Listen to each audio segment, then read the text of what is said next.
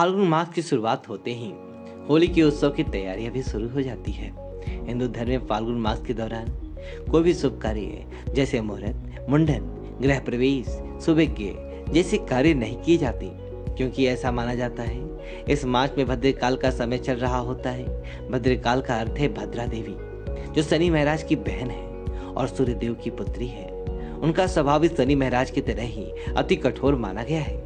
उनके कालचक्र के समय कोई भी शुभ कार्य करना लाभदायी नहीं माना जाता। लेकिन होलिका दहन के पश्चात सारे शुभ मुहूर्त परम हो जाते हैं। रंगों को खेलकर एक नई कल की शुरुआत का उत्सव मनाया जाता है। इस वीडियो में हम कुछ ऐसे उपाय बताने जा रहे हैं, जिनसे आपके जीवन में कई समय से चल रही समस्याएँ समाप्त हो सकता है। बस आपको होलिका दहन पर ये कुछ उपाय अवश्य करने चाहिए। तो आइए जान लेते हैं। पर उससे पहले आपने अभी तक हमारे चैनल को सब्सक्राइब नहीं किया है तो इसे सब्सक्राइब कर लीजिए। साथ ही वीडियो पसंद आए तो एक लाइक ज़रूर करें। होलिका दहन के दिन करें ये उपाय। अगर बहुत समय से आपके जीवन में कई सारे कष्ट आ रहे हैं और समस्या भी दिन प्रतिदिन बढ़ते जा रहा है तो होलिका दहन के दिन घर के सभी सदस्यों के साथ मिलकर होलिका की पवित्र अग्नि में देसी घी दो बतासा कुमकुम और अग्नि की ग्यारह परिक्रमा करते हुए उसमें सूखे नारियल को चढ़ा दें। आप खुद देखेंगे ये आपके कष्ट धीरे धीरे समाप्त होने लगेंगे। ध्यान रखें कि घर के सारे सदस्य मिलकर होलिका माता का आराधना करें। इससे लाभदायी फल प्राप्त होगा।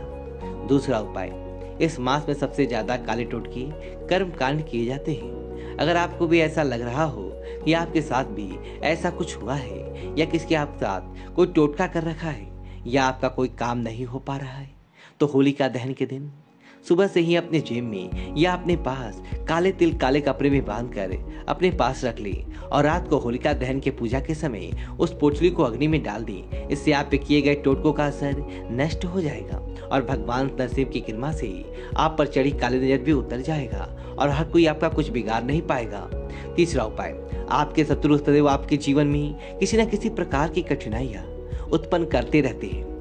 या किसी बुरी नज़र के चलते आप स्वस्थ नहीं रह पाते, या लंबे समय से आपकी बीमारी भी ठीक नहीं हो पा रही है तो आप इस उपाय को कर सकते हैं। आपको करना ही है कि होलिका दहन की पूजा के समय आपको गौमती चक्र लाकर उसके साथ होलिका दहन अग्नि की सात चक्र लगाने हैं और पूजा के बाद आपको ये गौमती चक्र अग्नि में डाल देना है। इससे आपके लगी बुरी नज़र, शत्रु का भय और शस्त्र संबंधित सारी समस्याएँ समाप्त होने लग जाएगा। चौथा उपाय। अगर आपके व्यापार में कई सारी समस्याएँ उत्पन्न हो रहा है, धन आपके पास नहीं टिकता है और घर में सदैव ही कलेश का माहौल बना रहता है तो आप ये उपाय अवश्य करें। आप होलिका दहन के पूजन के बाद उसकी थोड़ी सी राख अपने घर में ले आए।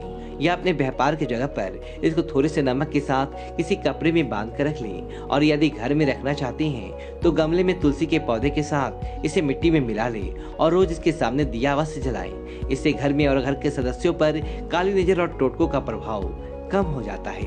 और तो और व्यापार में आ रही समस्या भी समाप्त होने लगता है। यदि आपको भूत प्रेत या किसी भी तरह का भय से डराता है तो होलिका दहन से बजरंग बाण का पाठ अवश्य शुरू करें और इसे 40 दिन तक करने से आपके सारे भय और साए खत्म होने लग जाएँगी। उम्मीद है आपको ये सारी उपाय अवश्य लाभदायी होंगी और यदि वीडियो तो वीडियो को लाइक करें और कमेंट बॉक्स में जय महाकाली को और हमारे चैनल को सब्सक्राइब कर। धन्यवाद दोस्तों।